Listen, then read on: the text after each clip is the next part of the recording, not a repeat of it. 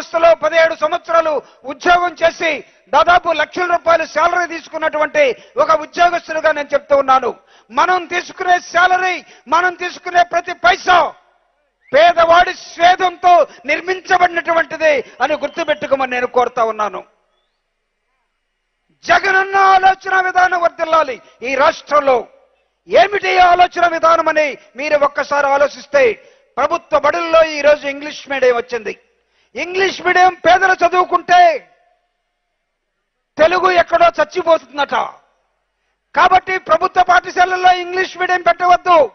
కారణం ఏంటని లోతుగా ఇళ్ళు చూస్తే గొప్పవాళ్ళ పిల్లలకి పేదవాడు ఇంగ్లీష్ మీడియంలో చదివితే రేపటి నుంచి ఇంట్లో పనిచేసేవాడు దొరకడు కూలోడు దొరకడు.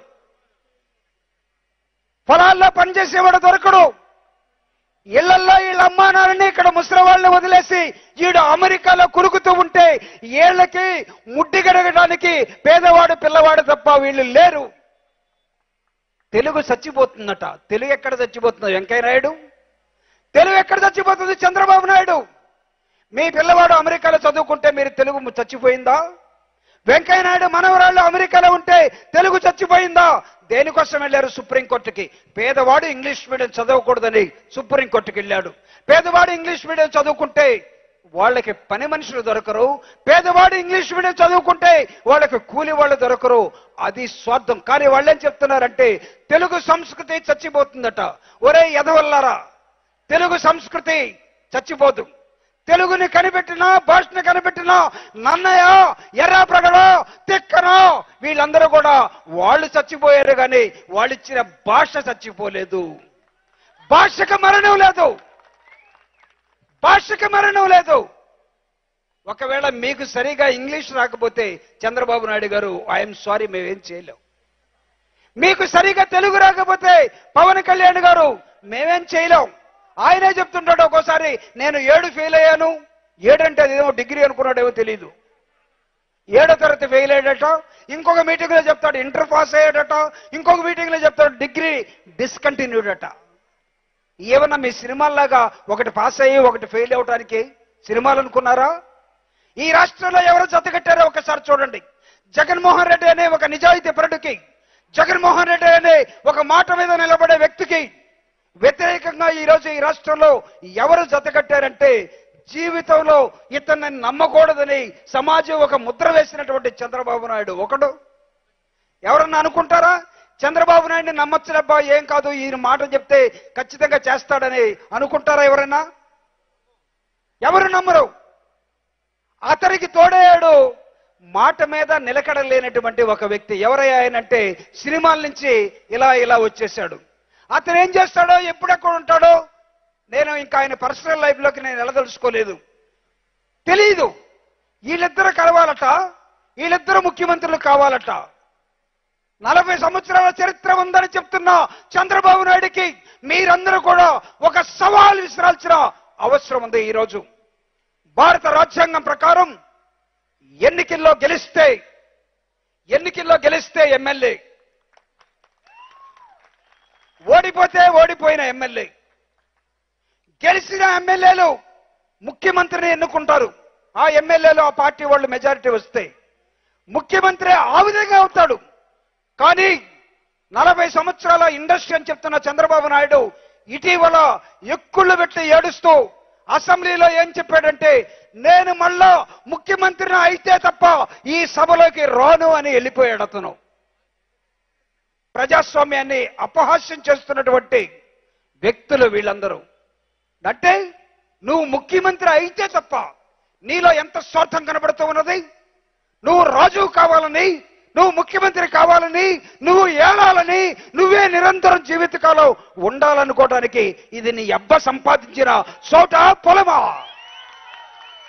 ఇది డాక్టర్ బాబాసాహెబ్ అంబేద్కర్ ఇచ్చినటువంటి రాజ్యాంగం. ఒళ్ళు దగ్గర పెట్టుకోండి. రాజ్యాంగాన్ని చదువుకోండి. Forty years industry. నాలుగు గీసుకోవటానిక ముడ్డి కడుక్కోవటానిక what for? You must understand before you talk what you are talking. Don't try to talk nonsense we are here to question రాజ్యాంగాన్ని తెలిసినటువంటి వ్యక్తులుగా మాట్లాడటానికి మేము ఇక్కడ ఉన్నాం. ఏ? అసెంబ్లీలో ఏడ్చిపోతే ఈ ఈ బోడి వాళ్ళు పోతే ఇంకొకటి రాడా? రాజశేఖర రెడ్డి గారు మరణించిన తర్వాత ఈ రాష్ట్రంలో ఈ ముఖ్యమంత్రులు రాలేదా? పరిపాలించలేదా? రోసయ్య రాలేదా? తర్వాత ఇంకొకరు రాలేదా? అంటే ఇతనే ముఖ్యమంత్రిగా జీవితకాలం ఉండాలట ఇతన వర్గాలే ఉండాలట ఇతన మనుషులే ఉండాలట మిగతా వాళ్ళు ఈ దేశంలో ఉండకూడదట. ఎంత కొవ్వండి? ఈ కొవ్వుని కరిగించాల్సిన అవసరం ఉంది. మీ ఓటు హక్కుతోటి ఓటున్న వాళ్ళు గట్టిగా ఒకసారి చేతులెత్తి ఇలాంటి వాళ్ళందరూ కూడా ఈ కేటుగాళ్ళకి కొవ్వున్న వాళ్ళని కొవ్వు తీస్తామని చెప్పాల్సిన అవసరం ఉంది. What is a secret weapon ఇది వేరే వాడిని బెదిరించడానికి కత్తిలాగా జేబులో పెట్టుకునే కత్తి కాదు. లేకపోతే ఇదిగో గన్మెన్ లాగా ఒకవైపు గన్ను చూపిస్తూ తిరిగేది కాదు. What is a secret weapon అది ఎక్కడుంటుందో తెలియదు ఓటుకు పోయినప్పుడు నీ చూపుడు వేల మీద ఒక చుక్కై ఒక బొట్టై ఒక ఇంకై ఒక కలరై నీ ఆయుధాన్ని అక్కడ చూయిస్తావు. అది ఓటు. దానికి విలువ ఉన్నది. దాన్ని సారాయికో ఇందాక కన్నబాబు గారు చెప్పినట్టుగా దాన్ని సారాయికో బిర్యానీకో లేకపోతే ఇంకొక దానికో అమ్ముకోవటానికి ఏమాత్రం అవకాశం లేనటువంటి పవిత్రమైనటువంటిది. అందుకే జగన్మోహన్ రెడ్డి గారు ఛాలెంజ్ చేస్తా ఉన్నాడు. ఆడుదాం ఆంధ్ర కాదు ఆడుదాం కబడ్డీ. ఎవరొస్తారో రండి మీరంతా ఒక జట్టు మేమంతా ఒక జట్టు అని చెప్తూ ఉన్నాడు.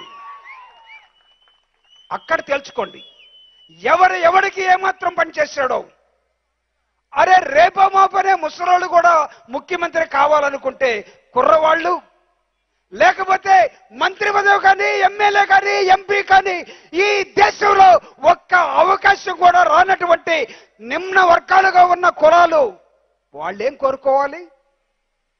తరతరాలుగా ఈ అట్టడుగు వర్గాలుగా ఉన్నటువంటి మా ముత్తాతలు మా తాతలు మా తండ్రులు మేము ఎప్పుడూ ఆ చట్టసభల్లోకి వెళ్ళలేదే. మేమేం కోరుకోవాలి? జీవితకాలం ప్రతి ఐదు సంవత్సరాలకి మీకు ఓట్లేసి నిన్ను మీ మామని రేపు నీ కొడుకుని ఆ తర్వాత నీ మనవణ్ణి పంపడానికి మా చెగుల్లో ఏమన్నా పూలున్నాయా చంద్రబాబు? అరే ఇదిగో ఇక్కడ ఉన్నటువంటి ఈ సమాజంలో ఇక్కడ బ్రతుకుతున్న ప్రతి వాడు ఆశాజీవిగా బ్రతకాలి. ఆశ దేనికోసం అంటే సమాజాన్ని బ్రతికించడం కోసం కాదు. ఆశ దేనికోసం అంటే సమాజాన్ని దోచుకోవటం కోసం కాదు. ఎన్ఐరాయిగా వచ్చాడు. నాన్న చూస్తే కార్మిక నాయకుడు. ఒకసారి లేండి సుబ్బారావు గారేనా? సుబ్బారావు గారేనా? రైట్ రా.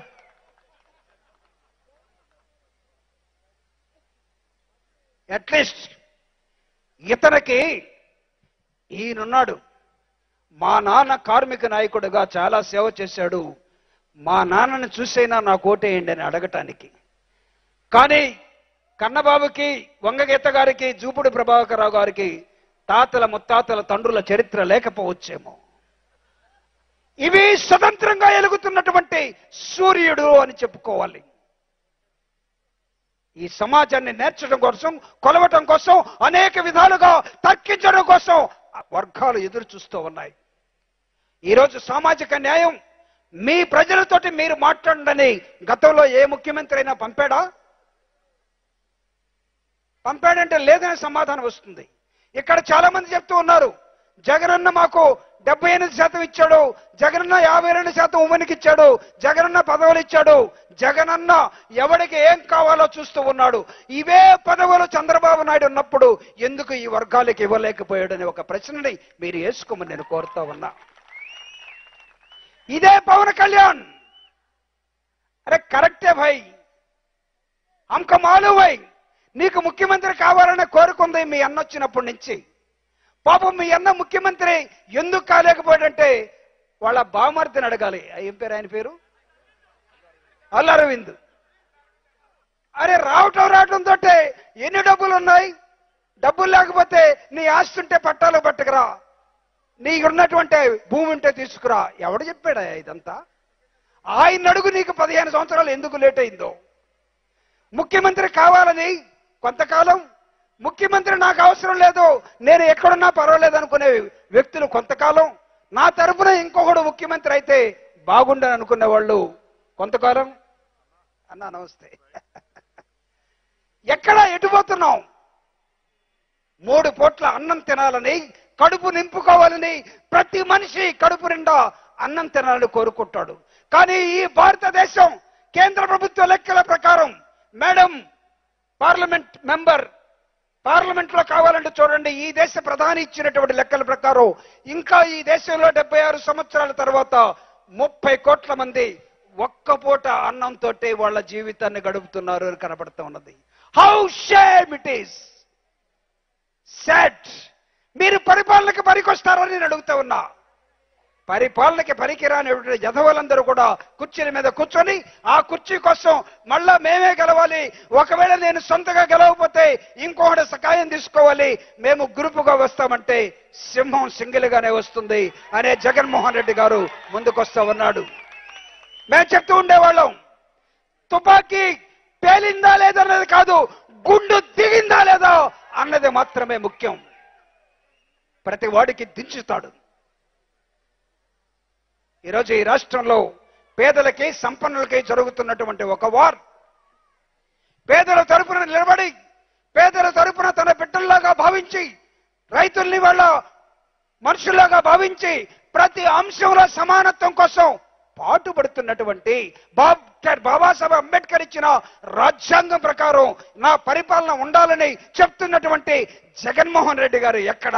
ఈ రాష్ట్రాన్ని కంబైన్డ్ రాష్ట్రంగా ఒకసారి విడగొట్టిన రాష్ట్రంగా ఒకసారి నేనే వెళ్ళాలి అని దోచుకోవడానికి సిద్ధపడుతున్నటువంటి చంద్రబాబు నాయుడు పవన్ కళ్యాణ్ ఎక్కడ? తేల్చుకోవాల్సిన సమయం అతి త్వరలో రాబోతుంది కాబట్టి ఆ రోజు మీ శక్తి సామర్థ్యాల్ని మీకు నేను ఇందాక చెప్పినట్టుగా చూపుడు వేలి మీద పడే ఆ ఇంకు చుక్క ఎవరి వైపు పడాలో చూసుకోమని నేను కోరుతాను. అయినా సరే ఇతనికి నేను ఓటేయమని మీకు చెప్పటం లేదు. చెప్పడం లేదు. నేను ఆ విషయాన్ని ప్రస్తావించదలుచుకోలేదు. ఎందుకంటే దట్ ఈజ్ యువర్ ప్రాపర్టీ మీకు తెలుసో లేదో? దట్ ఈజ్ యువర్ ప్రాపర్టీ రేపు ఏ నాయకుడి మీద మీకు సర్వ హక్కులు ఉండాలో మీరు నిర్ణయించుకోవాలి. మీ నీ నాన్న మీకు భూమిని సంపాదిస్తే తదనంతరం మీ నాన్న తర్వాత ఆ భూమి నీకు వస్తే నీకు సర్వ హక్కులు ఉంటాయి ఒకవేళ మీరు ఇతనికి ఓటేస్తే ఇతని మీద సర్వ హక్కులు మీకుంటాయి. లేకపోతే మీరు హక్కును కోల్పోతారు. మీరే హక్కును కోల్పోతారు. ఈయన కారులో పోతుంటాడు మీరేమో ముఖం ఇటు పెట్టి పోతుంటారు. గెలిపించారనుకో దిగవయా కారు. తీ అర్థం తీ అర్థం ఈ కారు నీకు నేను ఇచ్చిందే నేను ఓటేస్తే నువ్వు గెలుస్తున్నాడు ఆపు కారు. ఆ హక్కును మీరు తెచ్చుకోవాలని కోరుతూ ఈ హక్కుని గుర్తు చేయమని జగనన్న అన్నా మీరందరూ వెళ్ళండి. మూల మూలకి వెళ్ళండి. ఇప్పుడు దాకా ప్రభుత్వాలు ఇప్పుడు దాకా పార్టీలు ఏ ప్రాంతానికి వెళ్ళలేదో. Reach so far unreached areas మాట్లాడండి. నోరు లేనటువంటి వాళ్ళకి తరపున మాట్లాడలేనటువంటి కులాల తరపున మాట్లాడలేనటువంటి మనుషుల తరపున శ్రమజీవుల తరపున ఏమి హక్కులు కోల్పోయి బ్రతుకుతున్నటువంటి వాళ్ళ తరపున try to be voice of voiceless వాళ్ళ గొంతుకుగా మీరుండండి. వాళ్ళ తరపున మీరు అట్లాడండి. ఒక ఉద్యమాన్ని నిర్మిస్తూ ఆ ఉద్యమానికి మీరే నాయకత్వం వహించమని అనేక మంది నాయకుల్ని తయారు చేస్తున్న జగన్మోహన్ రెడ్డి గారు ఎక్కడ? వేరే నాయకుడు ఎవడు రాకూడదు. పార్టీ పెట్టిన వాడైనా సరే వాడిని ఎరగనించి నుంచి పొడుస్తాం చంపుతాం పార్టీని లాక్కుంటాం అని చెప్పేవాడు వాడెక్కడ? ఈ వ్యత్యాసాల్ని ఆలోచించమని. అంతేగాని దొరబాబు గారు రేపు సారా బాటిల్ ఎన్ని ఇస్తాడు ఎన్ఆర్ఐ నుంచి వచ్చిన డబ్బు ఎంత ఇస్తాడు వీటికి ఆలోచించారనుకో. మీరు ఏం కోల్పోతారు? హక్కుని కోల్పోతారు. హక్కు. ఇది భారత రాజ్యాంగం ప్రకారం. డాక్టర్ బాబాసాహెబ్ అంబేద్కర్ ఇచ్చినటువంటి రిటర్న్ కాన్స్టిట్యూషన్ ప్రకారం ముప్పై ఆరు దేశాలు చదివి భారతదేశానికి ఒక స్పటిష్టమైనటువంటి భారత రాజ్యాంగాన్ని రాసిచ్చిన దాని ప్రకారమే ముఖ్యమంత్రి పరిపాలించాలి ఎమ్మెల్యే ప్రవర్తించాలి ప్రధానమంత్రి పరిపాలించాలి. ఈ విధంగా ఉన్నప్పుడే ఈ దేశం అగ్రవర్ణాల సరసన అగ్ర అగ్ర దేశాల సరసన అభివృద్ధి చెందిన దేశాల సరసన పేదవాళ్ళందరూ కూడా జగనన్న చెప్తూ ఉంటారు. పేదింటి పిల్లలు ప్రపంచాన్ని వెళ్ళాల్సిన అవసరం ఉంది. ఎవరి కోరిక ఇది? ఎవరి కోరిక? పేదింటి పిల్లలు ప్రపంచాన్ని ఏలాలి? తల్లిదండ్రులు మా పిల్లవాడు కూడా కలెక్టర్ కావాలి డాక్టర్ కావాలి ఇంజనీర్ కావాలనుకుంటాడు. కానీ ఈ రాష్ట్రంలో పరిపాలించే ఒక ముఖ్యమంత్రి రెండు లక్షల నలభై వేల కోట్ల రూపాయల్ని ప్రభుత్వ డబ్బుల్ని ప్రజలకు పంపించాడు. ఈయనకి తెలియదు ఆమెకి తెలియదు ఆయనకి తెలియదు వాళ్ళు కూడా గడప గడపకు తిరిగేటప్పుడు ఆ వాలంటీర్ ఒక పుస్తకం పట్టుకొస్తే అమ్మా మీ ఇంటికి ఎంత వచ్చింది? ఐదు లక్షలు వచ్చిందయ్యా. ఎమ్మెల్యే గారు అనుకున్నారు మా వాలంటరీ వాడిది ఎక్కడరా అసలు నాకు తెలియకుండా ఐదు లక్షలు వీళ్ళకి ఎలా వచ్చింది? డైరెక్ట్! డైరెక్ట్! మీరు జగన్మోహన్ రెడ్డి గారిని మీరు డైరెక్ట్ చేసుకొని తిరిగి మళ్ళా మీ ముఖ్యమంత్రిగా గెలిపించడం కోసం మీ పవిత్రమైనటువంటి ఆలోచన విధానాన్ని వాడమని ఇచ్చినటువంటి అవకాశానికి జై భీములు తెలియజేస్తూ సెలవు తీసుకుంటూ ఉన్నాను. Thank you very much thank you sir thank you sir అలాగే పెండుందరబాబు గారు వచ్చారు. వాళ్ళకి మనందరి తరపున కృతజ్ఞతలు తెలియజేసుకుంటూ ఇందాక పెద్దలు చెప్పినట్టుగా మన ఓటు హక్కుని వినియోగించుకోమని నేను కూడా ప్రతి మీటింగ్లో కూడా చెప్తా. ఓటు హక్కు మనం ఎవరికి ఓటేసామో కూడా ఎవరికి తెలియదు. ఎందుకంటే అది మనకి మన అంతరాత్మకి తెలుస్తుంది. ఈరోజు జగన్మోహన్ రెడ్డి గారు కూడా అదే ఒకటే చెప్తా ఉన్నారు. నా పరిపాలన నచ్చితే నా పరిపాలన వల్ల మీ కుటుంబానికి భరోసా ఉంటే నాకు మరొక అవకాశం ఇవ్వమని అంటూ ఉన్నారు. ఇంకొక మాట కూడా ఆయన అంటూ ఉంటాడు. రాజకీయం చేయడం అంటే దోచుకు తినడం కాదు. రాజకీయం చేయడం అంటే మనం లేకపోయినా సరే మన ఫోటో మీ గుండెల్లో కానీ మీ ఇంట్లో కూడా పెట్టుకునేటట్టుగా రాజకీయం చేయమని చెప్తా ఉన్నారు. మీ అందరికీ తెలుసు నా గురించి. ఎన్నో సంవత్సరాల నుంచి ప్రయత్నం చేస్తా ఉన్నా. ఒక దౌలూరు దొరబాబు అనే వ్యక్తి ఈ పెద్దాపురం నియోజకవర్గంలో మంచి పని చేశాడని చెప్పుకోవడానికి గత ఇరవై సంవత్సరాలుగా ప్రయత్నం చేస్తా ఉన్నా. ఈ రోజు నాకు అవకాశం వచ్చింది. మీ అందరు కూడా మరొక్కసారి మీ అందరు కూడా మరొక్కసారి మీ అందరు కూడా శిరస వంచి కోరుకుంటూ ఇందాక పెద్దలందరూ కూడా మాట్లాడారు. జగన్మోహన్ రెడ్డి గారు ఎస్సీ బీసీ ఎస్టీ మైనార్టీల కోసం చేసినటువంటి ఈ సామాజిక న్యాయం గురించి కూడా మాట్లాడడం జరిగింది. ఒక కాపు కులానికి చెందిన వ్యక్తిగా ఈరోజు వెనకబడిన కాపు కుల కాపు కులస్తులను కూడా ఆదుకున్న ముఖ్యమంత్రి ఎవరంటే శ్రీ వైఎస్ జగన్మోహన్ రెడ్డి గారని ఈరోజు తెలియజేసుకుంటూ ఈరోజు ఈ కార్యక్రమాన్ని ఇంత విజయవంతంగా ఈరోజు జరిగినందుకు జరగడానికి కారణమైనటువంటి ప్రతి నాయకులకు కార్యకర్తలకు అలాగే ఇక్కడ సహకరించిన ప్రతి ఒక్కరికి కూడా ప్రింట్ ఎలక్ట్రానిక్ మీడియా సోదరులందరికీ కూడా అలాగే ఇక్కడికి వచ్చినటువంటి వివిధ మన నియోజకవర్గాల నుంచి వచ్చినటువంటి శాసనసభ్యులు పెద్దలందరికీ కూడా హృదయపూర్వక హృదయపూర్వక కృతజ్ఞతలు తెలియజేసుకుంటూ మరొకసారి మీ అందరికీ కూడా కృతజ్ఞతలు తెలియజేసుకుంటూ ఒకసారి జై జగన్! జై జగన్! జై Jagan! Thank you thank you.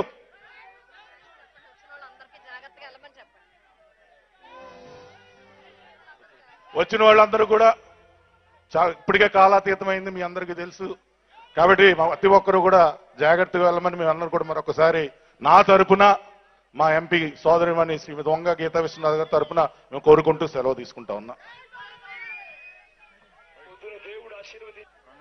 మంచి జరుగుతుంది బలోపేతం అవుతుంది అని అడిగిన వెంటనే ఏమాత్రం కూడా వద్దు వద్దు అని చెప్పి కూడా చెప్పకుండా పూర్తిగా కోఆపరేట్ చేశాడు. దొరబాబుకు అన్ని రకాలుగా రేపొద్దున దేవుడు ఆశీర్వదించి మంచి చేసే పరిస్థితిలో నేను ఉన్నప్పుడు ఖచ్చితంగా